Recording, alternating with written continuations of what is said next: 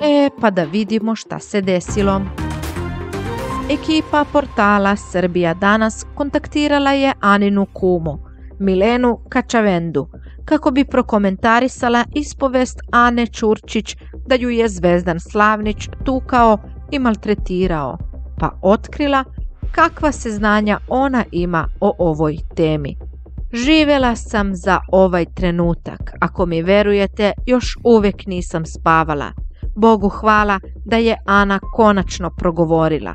Ja spremam tešku artiljeriju, sve ću izneti u javnost. Rekla je Milena, a zatim dodala. Ana je morala da spava pored Zvezdana nakon što je on prebije. On je nju tukao satima.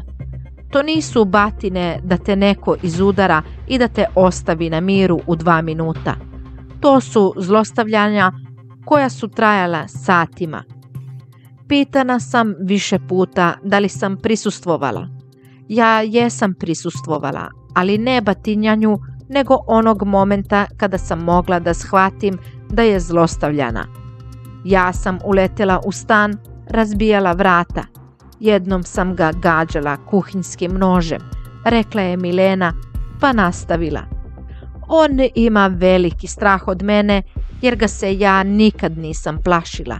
Ja sam jedina žena i drugarica koja je uletela u tuče. Kada sam ga gađala velikim kuhinskim nožem, ja sam se u tom trenutku tukla sa njim u stanu. On je nasrnuo na mene, ali znaš kad žena poludi i u tom trenutku dobije onu nenormalnu snagu. Ja sam dohvatila nož i zafrljačila ka njemu. On kada je video da imam nož u ruci, istrčao je iz sobe i u sekundi zatvorio vrata. Nož se zabao direktno u vrata u visini njegove glave i tada sam shvatila šta znači ubiti čoveka iz afekta. Da se nije tako brzo snašao, ja bih ga nožem pogodila u glavu. Na pitanje da li joj je Zvezdan pretio da će je prijaviti policiji zbog ove situacije, rekla je Ne, nikada mi nije pretio da će me prijaviti.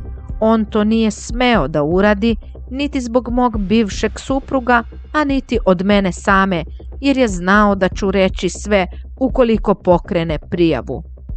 To nije uradio zbog sebe, a ne da zaštiti mene, rekla je Milena. S obzirom na to da je Ana rekla da je navodno morala da legne pored Zvezdana u krevet nakon što je prebije, pitali su Kačavendu da li je Zvezdan nekada silovao Čurčićevu. Ne bih to mogla jasno da deklarišem kao silovanje zato što fizički nisam bila tu prisutna i nisam to vidjela. Znam da je morala nakon batinanja da ima seksualne odnose mimo svoje volje. Nije mogla da se brani jer ukoliko bi odbila seksualne odnose, on bi je tukao. Obično je tukao pesnicama u stomak, terao je da se skida gola, a čak ju je jednom izbacio golu na ulicu. Ja sam tada došla sa njenom drugaricom po nju i to se dešavalo na Dorčolu. U trenutku kada je žena stajala gola na ulici, Zvezdan je samo bacio gačice na nju i rekao Evo ti ku, mrtva, obuci se i idi. Ja sam Moku zvala da dođe i da reaguje, pošto se Zvezdan zaključao u stanu i nije hteo da me pusti unutra. A Moka je na to rekao, ja uvijek podržavam ljubav i spustio mi slušalicu. Rekla je Milena ekskluzivno za portal Srbija danas.